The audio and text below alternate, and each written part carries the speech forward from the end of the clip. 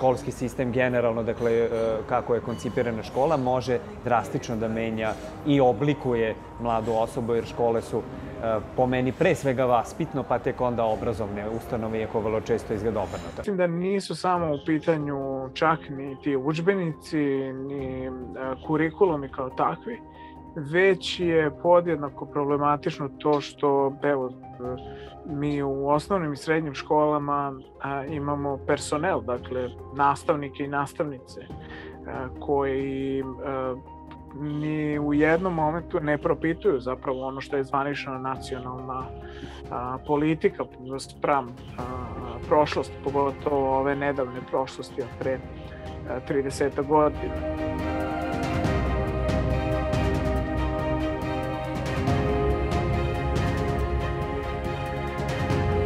Problem je kada deo etničkog identiteta se zasniva na a, a, prevelikom optimizmu a, kako, je, kako izgleda moja grupa i uverenju, što nijedna naravno grupa ne voli da prizna, uverenju da je naša grupa bezgrešna i da je nemoguće da neko iz naše grupe uradi nešto što je pogrešno. Pitanje ratnih zločina je upravo jedno od tih pitanja.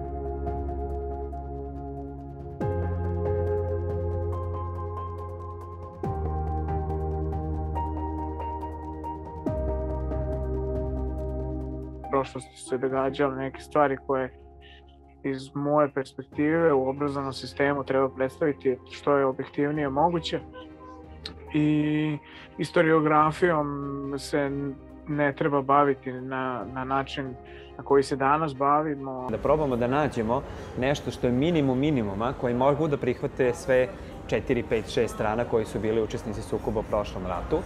Da probamo da se suočimo sa time da svaka strana prihvati svoje zločine.